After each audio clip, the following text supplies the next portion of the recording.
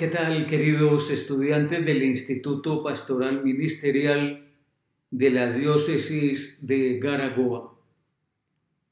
Esta vez vamos a continuar estudiando uno de los documentos más recientes del Magisterio de la Iglesia, firmado en el 2016 por el Papa Francisco que como les he dicho en la presentación, se trata fundamentalmente del resultado de dos sínodos, un sínodo extraordinario y un sínodo ordinario sobre la familia.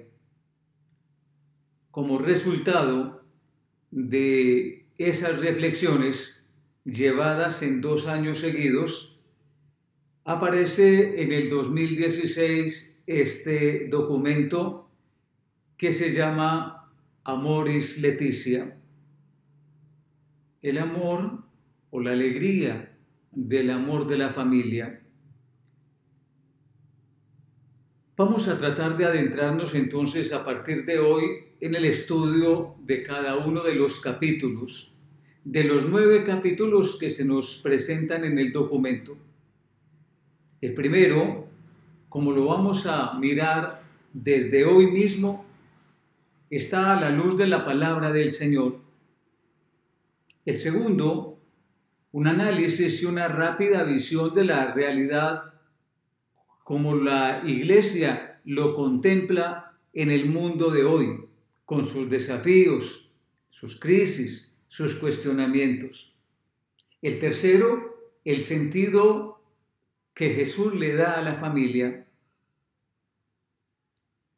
a partir del tercero, es decir, cuarto y quinto, se van a centrar especialmente en el tema de la enseñanza de la iglesia con respecto a la familia.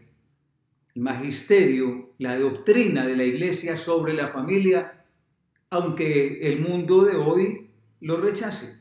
Pero ¿qué es lo que la iglesia enseña y qué es lo que un creyente debe saber, debe conocer y debe fundamentar respecto a su fe de la familia? Estaba hablando del capítulo cuarto y del capítulo quinto.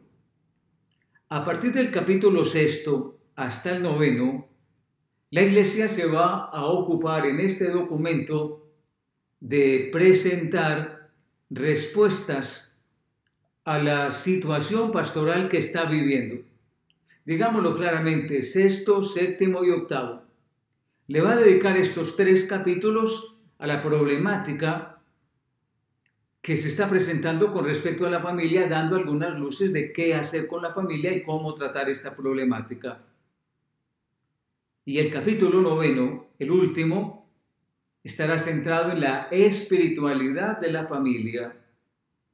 Un bello capítulo que ojalá al final, después de haber hecho todo este recorrido, posibilite en cada uno de ustedes, queridos estudiantes, un acercamiento y una claridad sobre lo que Dios quiere de la familia.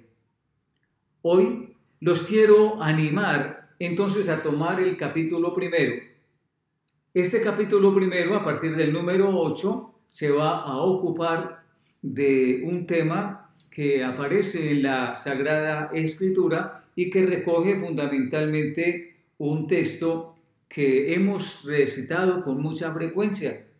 Dichoso el que teme al Señor.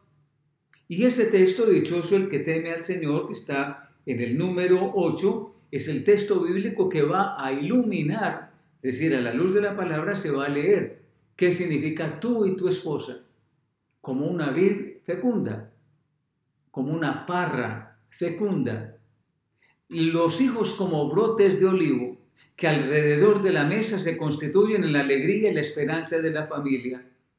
Ciertamente que la familia es un sendero, como lo, lo leemos en el Salmo, de sufrimiento y de sangre, pero al mismo tiempo Así es la familia. También es fruto de la fatiga de las manos, pero es el regocijo y la ternura del abrazo. Estos bellos números los vamos entonces a estudiar en este capítulo que arranca desde el numeral 8 de esta exhortación apostólica presentada por el Papa Francisco como ruta en este quehacer de la vida familiar de la Iglesia. Ojalá lo estudiemos esta semana con mucho empeño.